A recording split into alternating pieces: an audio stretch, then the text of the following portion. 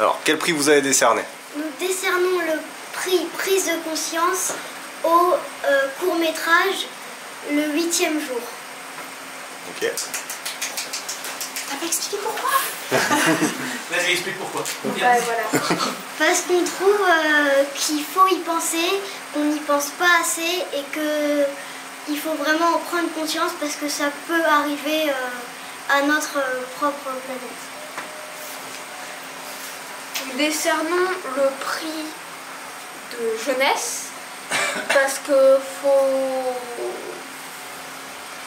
Bon, il y a plein d'enfants qui ne se font pas en- encourager par les parents et qui réas- réalisent pas leurs rêves. Et, euh, euh, rêves.